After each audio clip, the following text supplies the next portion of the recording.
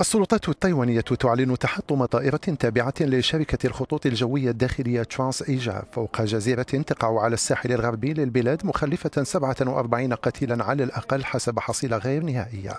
فيما تتحدث مصادر أخرى رسمية عن 51 قتيلا ولم يسلم من هذا الحادث سوى سبعة أشخاص أصيبوا بجروح متفاوتة الخطورة. والدة جريحة تروي ما قالت لها ابنتها في مكالمة هاتفية.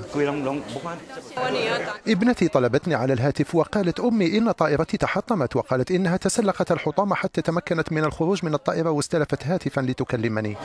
الطائرة التايوانية التي كانت قادمة من كاوسيونغ في جنوب البلاد كانت تقل 54 راكبا إضافة إلى أربعة أشخاص آخرين يشكلون طاقمها. وقد تحطمت قرب أرضية الإقلاع التابعة لمطار ماغونغ في جزيرة بينغو النائية وهي تهم بالهبوط للمرة الثانية بعد فشل المحاولة الأولى بسبب سوء الأحوال الجوية على ما يبدو.